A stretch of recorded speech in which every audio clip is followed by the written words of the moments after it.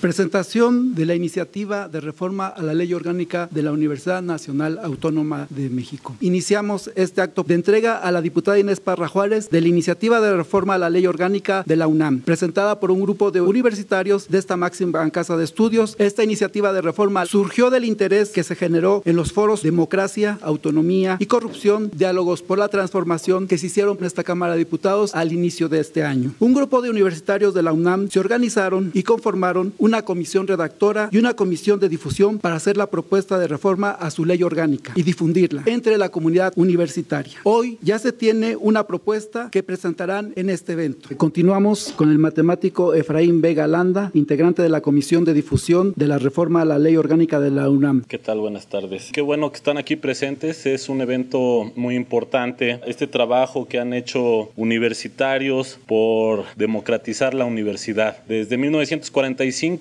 la ley orgánica vigente ha dado pie a lo que ya conocemos de cómo funciona la universidad. La universidad es antidemocrática, la universidad maneja un presupuesto mayor que el de la mitad de los estados del país y bueno, la falta de democracia hace que pueda haber un conjunto de familias y de grupos de poder en la universidad que se perpetúan de generación en generación y hacen mal uso del presupuesto universitario, asignándose salarios que son mayores que los del presidente, violando la ley incluso y desviando recursos como han sido las noticias de los meses anteriores en varios medios de comunicación. Y lo peor es que si alguien quiere hacer las cosas bien, como en el caso de la directora del Instituto de Matemáticas, que no se prestó a los desvíos que habitualmente se hacen en las dependencias, pues la destituyen en plenas vacaciones de invierno. Eso es lo que está en juego en la universidad, que eso cambie y para que eso cambie, pues tiene que haber democracia en la universidad y pues no quieren. Contradictoriamente sale el rector en estos días de elecciones presidenciales con su dedo pulgar presumiendo que votó, fue tema de las redes sociales, pero paradójicamente pues no da chance ni derecho a los universitarios a que también puedan mostrar su dedo de que votan por el rector, de que votan por los directores o por los consejeros. Es una contradicción y en estos tiempos de cambio tenemos todos que cerrar filas para que esta universidad cambie. Ya casi van 80 años en donde han usado esta ley orgánica y la autonomía universitaria de escudo para la impunidad. Tiene que cambiar, tiene que haber democracia y esa democracia va a servir para que haya derechos laborales a los docentes, para que haya más becas, más estudiantes. Vemos muchos rechazados cada vez que hay acceso a la universidad y bueno, necesitamos que la comunidad conozca esta iniciativa y la impulse. Por eso hemos estado aquí, hemos ido a varias escuelas, ha sido bien recibida esta ley, que no vayan a intentar las autoridades, decir que no hay un sentir de la comunidad en esta dirección de democratizar, porque invitamos a los medios de comunicación a que vayan a hacer encuestas o entrevistas. La gente quiere que haya democracia, que haya democracia, al menos como en el país, porque luego anda la gente diciendo que el INE y la democracia del país y opinan muchas cosas, pero en la UNAM estamos atrasados varios siglos, estamos en un sistema de gobierno feudal en donde cada director hace lo que quiere en las dependencias, una constante que hay en la universidad es el abuso de poder. Y entonces en cada dependencia, desde que hay desvíos hasta que la gente que intenta hacer las cosas bien, si no es bien visto por las autoridades, pues ahí está la represión y la verticalidad. Incluso, como en casos que hemos padecido algunos, llegan a casos de fabricar culpables con tal de que el orden prevalezca. Por ahí también el presidente de la República decía que el cambio debe de venir desde adentro, pero lo que no se ve a veces desde afuera es que la gente que intenta hacer el cambio desde adentro es reprimida sin miramientos y hay despidos injustificados, hay expulsiones, etcétera. Todo esto puede acabar con una ley orgánica en donde los grupos de poder no estarían perpetuándose porque serían votados. La gente a través del voto está consciente de por quién vota y por quién no. Y entonces es lo más importante, pensamos, de esta propuesta, que ya las autoridades universitarias se voten libremente, los directores y el rector. Entonces, esta presentación esperemos que sea un parteaguas para que haya un cambio en la ley orgánica y de mi parte agradecemos esta lucha que ha dado un conjunto de compañeros, le llamo lucha porque pues no debería de ser, pero en la universidad defender los derechos y querer una mejor universidad es dar una lucha en este ambiente represivo en el que estamos. Agradecemos también al equipo de la diputada porque han de saber, debería de haber más diputados interesados en que las universidades públicas funcionaran como debiera de ser, pero lamentablemente pues luego no hay tantos. Entonces agradecemos aquí a la diputada el valor y luego también también por hacer este tipo de cuestionamientos llegan los tentáculos de la rectoría y los grupos de poder porque llegan a muchos lados y bueno, estamos con la diputada apoyándola y bueno, vamos a seguir apoyando esta iniciativa de ley orgánica democrática para la universidad, aunque le pese al rector que sale con su dedo presumiendo la democracia en otros lados, porque bueno, pues candil de la calle, oscuridad de la casa, democraticemos la universidad. Gracias.